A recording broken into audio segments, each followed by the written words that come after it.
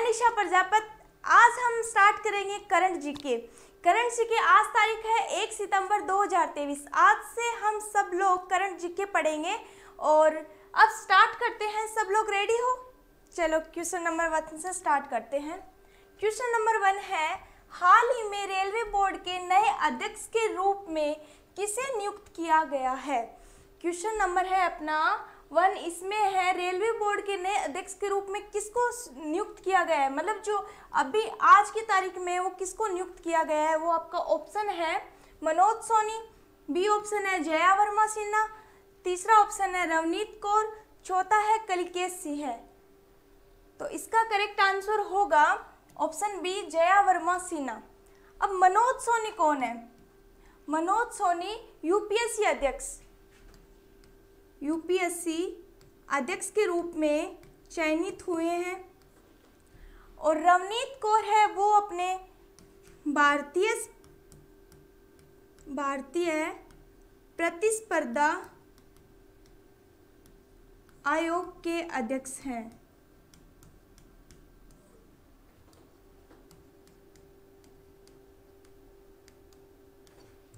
और कलिकेश सिंह है भारतीय, राष्ट्रीय, राइफल संघ के अध्यक्ष।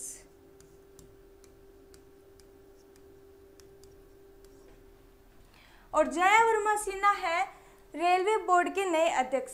तो रेलवे बोर्ड के नए अध्यक्ष के रूप में पहले कौन था? वो था अपने अनिल कुमार लाहौटी। अनिल कुमार लाहौटी पहले रेलवे बोर्ड अध्यक्ष के रूप में नियुक्त थे और हाल ही में, यानी एक सितंबर आज है, वो जया वर्मा सिन्हा इस अध्यक्ष पे, इस पद पे आ चुके हैं और वो पहली महिला अध्यक्ष है जो इस पद पे कार्यरत है, यानी आज कार्यभार संभाला है। और पहली महिला सदस्य कौन है? पहली महिला सदस्य है विजय लक्ष्मी विश्वनाथन। ठीक है? चलो इसके बारे में कुछ विस्तार से पढ़ते हैं। कैबिनेट की नियुक्ति समिति ने रेलवे बोर्ड के अध्यक्ष और सीईओ के रूप में जया वर्मा सिन्हा की नियुक्ति को मंजूरी प्रदान की है और जया वर्मा सिन्हा अनिल कुमार लाहौटी की जगह एक सितंबर 2023 को पदभार ग्रहण करेंगे, यानी कि आज उन्होंने पदभार ग्रहण कर लिया है। और यह रेलवे बोर्ड की पहली महिला अध्यक्ष भी बनी है। और इनसे पहले रेलवे बोर्ड में बोर्ड की पहली महिला सदस्य विजय लक्ष्मी विश्वनाथन के रूप में नियुक्त हो चुकी है। यानी कि ये पहली महिला अध्यक्ष तो अपनी जया वर्मा सिन्हा बनी है और पहली महिला सदस्य वो है विजय लक्ष्मी विश्वनाथन है। ठीक है? अब अपनी है अन्य नियुक्तियाँ मतलब कौन सी नियुक्तियाँ हैं और नाम है उनके और उनके आयोग के बारे में है। अब देखो, पहली है डॉक्टर मनोज सोनी। मनोज सोनी किसके रूप में कार्यरत है? ये है संघ लोक सेवा आयोग अध्यक्ष, यानी यूपीएससी अध्यक्ष है। फिर है रवनीत कौर। रवनीत कौर है भारतीय प्रतिस्पर्धा आयोग अध्यक्ष। कलिकेश सिंह है। कलिकेश सिंह है भारतीय राष्ट्रीय राइफल संघ अध्यक्ष के रूप में नियुक्त है। अजय बग्गा। अजय बंगा है विश्व बैंक अध्यक्ष के रूप में नियुक्त है। और प्रवीण सुद है सीबीओ के निदेशक। ठीक है? अपन चलते हैं क्वेश्चन नंबर टू की तरफ़। क्वेश्चन नंबर टू है, किस राज्य के चोकुआ चावल को जीआई टैग मिला है? जो चोकुआ चावल जो किस्म है, उसको जीआई टैग कौन से राज्य है, उसको मिला है? ये अपन को बताना है। तो इसका ऑप्शन है ए मेघालय बी है त्रिपुरा सी है असम डी है आंध्र प्रदेश। तो इसमें से करेक्ट आंसर कौन सा होगा? तो इसमें अपना करेक्ट आंसर है असम। यानी असम है, उसमें जो चोकुआ चावल है, उसको जीआई टैग मिला है और चोकुआ चावल का अन्य नाम क्या है, इसको अपन मेजिकल मेजिक राइस के नाम से भी जानते हैं। और ये कौन सी नदी के किनारे है जहाँ इसका सर्वाधिक सर्वाधिक उत्पादन, यानी कि इसका उत्पादन किया जाता है, वो अपनी है ब्रह्मपुत्र नदी। ब्रह्मपुत्र नदी के किनारे इस किस्म के चावल का उत्पादन किया जाता है। और दूसरी चीज़, इसमें और कौन सी किस्में हैं? तिनसुकिया, धेमाजी, डिब्रूगढ़ क्षेत्र में मतलब और कौन से कौन से क्षेत्र में है जो चौकवा चौकवा चावल है, इसका उत्पादन किया जाता है। वो तिनसुकिया, धेमाजी, डिब्रूगढ़ क्षेत्र में भी इनका उत्पादन किया जाता है। देखो, इसमें देखो, पढ़ते हैं, इसकी व्याख्या में चौकवा चावल को मेजिक राइस के नाम से भी जाना जाता है। मतलब चौकवा चावल का अन्य नाम है, वो मेजिक राइस है। और चावल की इस किस्म की खेती विशेष रूप से ब्रह्मपुत्र नदी के क्षेत्र में की जाती है, ठीक है? और असम में तिनसुकिया धेमाजी और डिब्रूगढ़ क्षेत्र में चावल की यह किस्म उत्पादित होती है।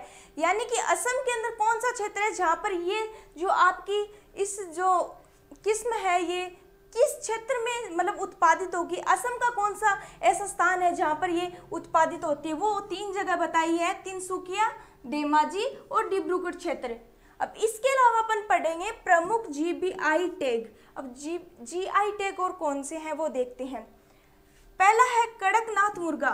इस, ये कौन से राज्य से संबंधित है? ये है मध्य प्रदेश से। दूसरा है खोला मिर्च। खोला मिर्च है गोवा से। तीसरा मणिपुर काला चावल। मणिपुर के नाम से पता लग रहा है, ये है मणिपुर, ठीक है? और फिर है मिथिला मखाना, ये है बिहार से। ओडिशा रसगुल्ला, ये है ओडिशा से। ओडिशा नाम से ही पता चल रहा है। बनारसी लंगड़ा आम, ये है उत्तर प्रदेश में। और बाघ प्रिंट है, ये है मध्य प्रदेश में। तो ये है अपने प्रमुख जीआई टैग जीआई टैग इनको भी प्रदान है, यानी इनको भी मिले हुए हैं। नेक्स्ट क्वेश्चन है अपना। हाल ही में विश्व संस्कृत दिवस कब मनाया जाता है? यानी कि विश्व संस्कृत दिवस है, वो इन जो अपने चार ऑप्शन है, इनमें से कौन सी डेट है जब ये मनाया जाता है? यानी दो हज़ार तेईस में ये कब मनाया गया है? ये चीज़ आपसे पूछी है तो इसमें ऑप्शन है सत्ताईस अगस्त बी है एक सितंबर सी है इकतीस अगस्त डी है तीस अगस्त। तो इसका करेक्ट आंसर होगा आपका option B sorry option C इकतीस अगस्त। ये आएगा आपका करेक्ट आंसर इकतीस अगस्त। ये तो अपनी 2023 की डेट है कि 31 अगस्त को संस्कृत दिवस मनाया गया है। लेकिन ये जो अपने हिंदी महीने हैं, उसमें ये कब मनाया जाता है, इसके बारे में अपन चर्चा करते हैं। हिंदी महीने में ये श्रावण पूर्णिमा को मनाया जाता है, यानी रक्षाबंधन के दिन ये मनाया जाता है। श्रावण पूर्णिमा को क्या आता है? रक्षाबंधन त्यौहार आता है। उस दिन है ये आपका ये विश्व संस्कृत दिवस मनाया जाता है। और विश्व संस्कृत दिवस का उपनाम क्या है? यानी इसका दूसरा नाम क्या है? इसको किस नाम से अपन जानते हैं? इसको अपन जानते हैं विश्व संस्कृत दिनम। इसको इस नाम से जाना जाता है। और फिर इसके बारे में विस्तार से चर्चा करते हैं। देखो, इस दिवस का उपनाम है, विश्व संस्कृत दिनम है। यह श्रावण पूर्णिमा के दिन मनाया जाता है, यानी रक्षाबंधन के दिन मनाया जाता है। ये चीज़ ध्यान रखना कि रक्षाबंधन के दिन मनाया जाता है, ये चीज़ आपको ध्यान में रहेगी। फिर इसकी शुरुआत भारत सरकार द्वारा उन्नीस सौ उनहत्तर में संस्कृत भाषा तथा विज्ञान भाषा में पाणिनि के योगदान के लिए की गई। मतलब इसका योगदान मतलब ये क्यों स्टार्ट किया गया? क्यों प्रारंभ किया गया दिवस? इसके बारे में अपन बताएँ तो इसके लिए देखो किसका योगदान है? ये अपना पानी नहीं है ना, इनके योगदान यानी इनके सम्मान के लिए ये अपन दिवस मनाते हैं। इन्होंने संस्कृत भाषा और विज्ञान भाषा में अपना योगदान दिया है। अब है ये दिवस है और यहाँ तिथि है। मतलब कौन सा दिवस, कौन सी तिथि को मनाया जाता है? पहला है राष्ट्रीय लघु उद्योग दिवस। ये आपका 30 अगस्त को मनाया जाता है। महिला समानता दिवस है, वो 26 अगस्त को मनाया जाता है। विश्व वरिष्ठ नागरिक दिवस, ये आपका 21 अगस्त को मनाया जाता है। फिर है सद्भावना दिवस, ये है 20 अगस्त को मनाया जाता है। विश्व फोटोग्राफी दिवस, ये 19 अगस्त को मनाया जाता है। और अंतर्राष्ट्रीय युवा दिवस है, वो आपका 12 अगस्त को मनाया जाता है। फिर है विश्व हाथी दिवस, ये 12 अगस्त को मनाया जाता है। विश्व जैव ईंधन दिवस, ये 10 अगस्त को मनाया जाता है। राष्ट्रीय हथकरघा दिवस, ये आपका सात अगस्त को मनाया जाता है और हिरोशिमा दिवस, ये छः अगस्त को मनाया जाता है। तो ये आपके दिवस है। इस दिवस को कौन से दिवस को, कौन सी तिथि है जो, किस तिथि को कौन सा दिवस मनाया जाता है, ये पूरा विस्तार से है। ये अपने इम्पोर्टेंट है, इसमें से आप पढ़ लेना। नेक्स्ट है अपना क्वेश्चन हाल ही में डेनियल मेकगाहे पहली ट्रांसजेंडर क्रिकेटर बनी हैं, इनका संबंध किस देश से है? यानी कि ये जो मही, पहली डेनियल मेगा है ट्रांसजेंडर जो क्रिकेटर है, वो कौन से देश से बिलोंग करती है? वो अपना ऑप्शन है कनाडा सॉरी ऑप्शन है इंग्लैंड ऑप्शन बी है दक्षिण अफ्रीका सी है कनाडा डी है जापान. तो इसका करेक्ट आंसर क्या होगा? इसका करेक्ट आंसर है कनाडा यानी ये कनाडा से बिलोंग करती है और ये डेनियल मेगा है, ये पहली पहली महिला क्रिकेटर है। कौन सी? पहली ट्रांसजेंडर महिला क्रिकेटर है। अब इसकी अपन व्याख्या देखते हैं, इसके बारे में पढ़ते हैं। देखो, व्याख्या है, कनाडा की डेलियन मेगा है, अंतर्राष्ट्रीय मैच खेलने वाली पहली ट्रांसजेंडर बनी है।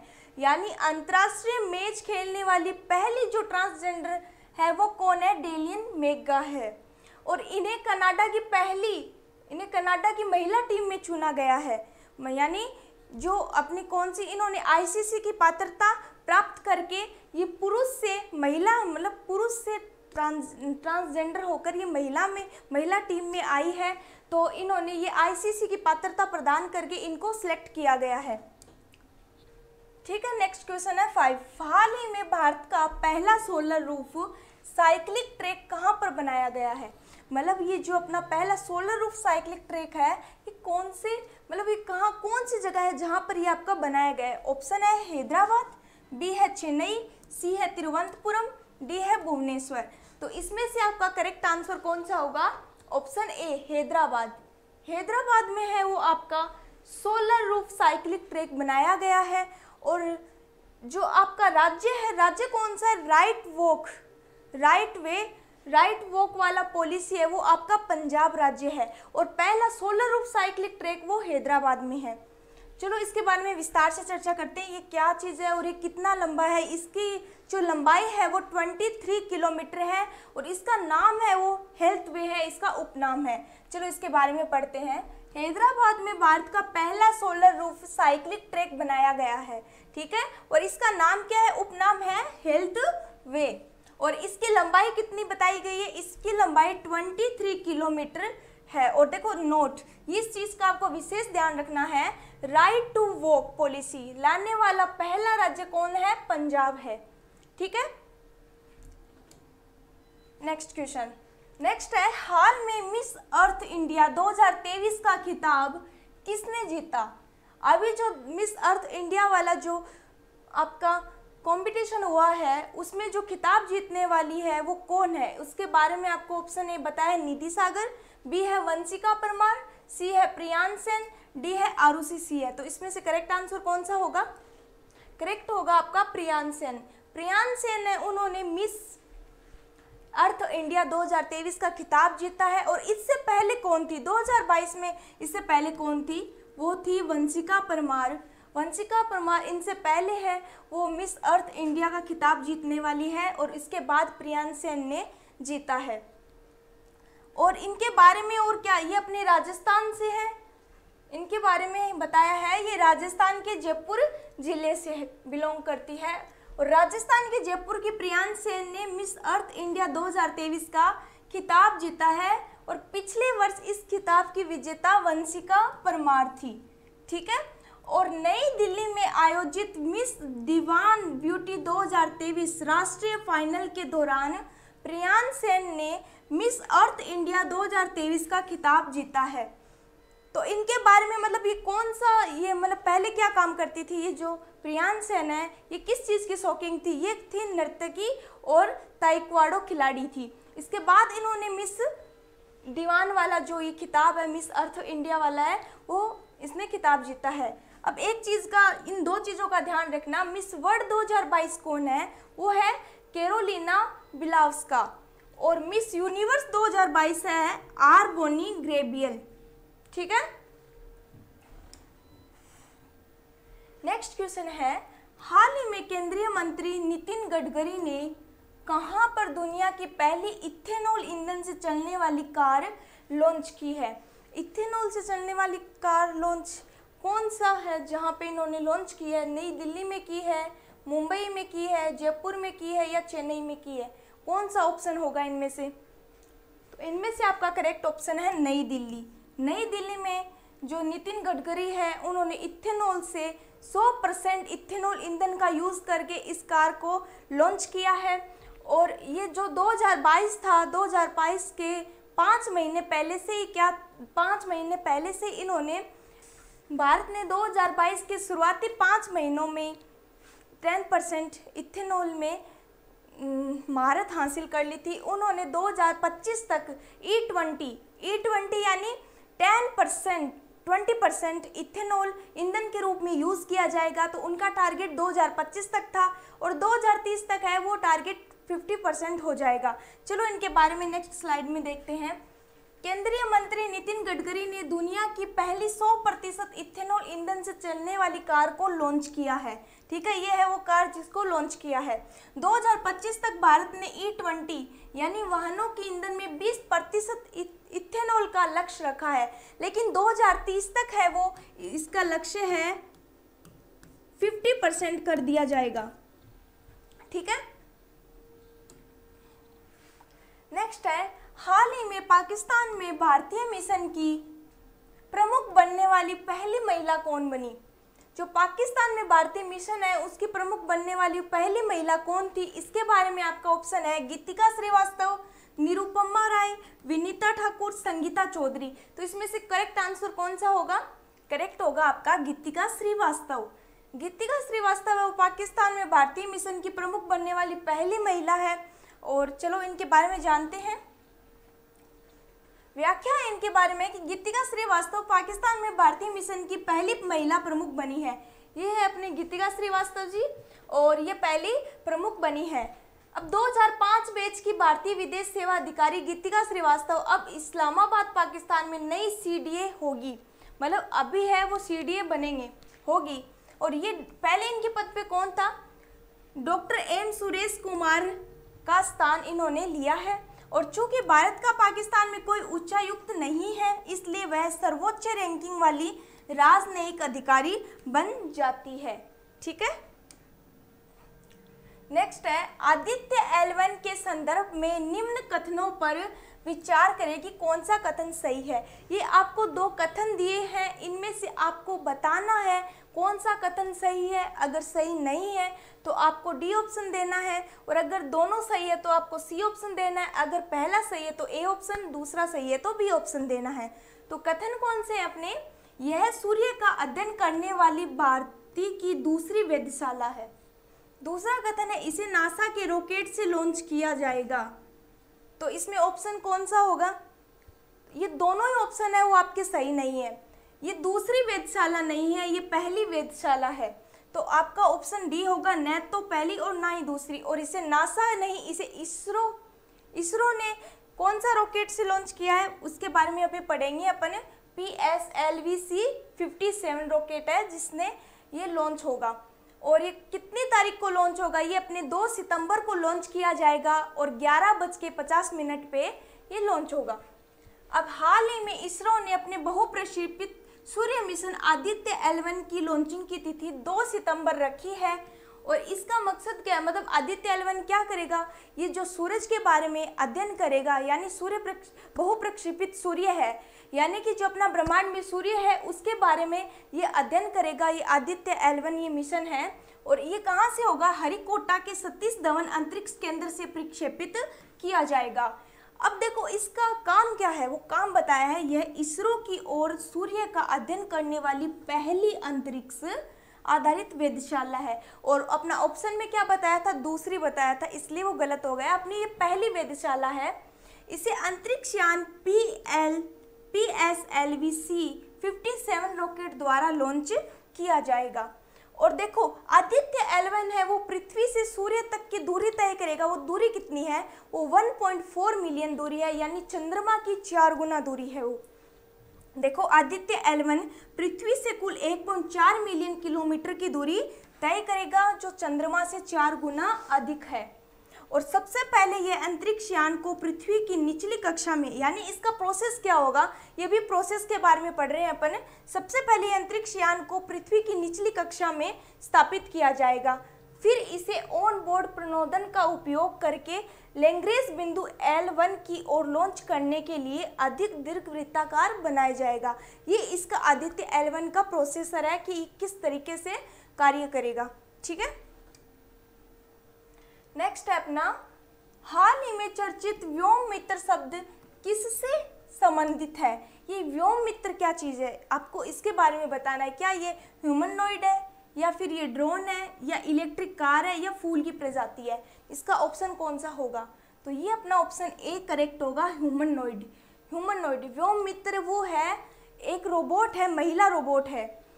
तो व्योम जो इसरो है, वो गगनयान मिशन अभी वो, उनका मिशन क्या था? गगनयान मिशन गगनयान मिशन था, लेकिन ये इससे पहले है व्योम मित्र यानी कि ये महिला रोबोट को स्पेस के माध्यम से अंतरिक्ष में भेजना चाहते हैं, इसकी तैयारी में लगे हुए हैं। इसके बाद ये गगन मिशन को कंप्लीट करेंगे। तो इसके बारे में देखो, विस्तार से पढ़ते हैं।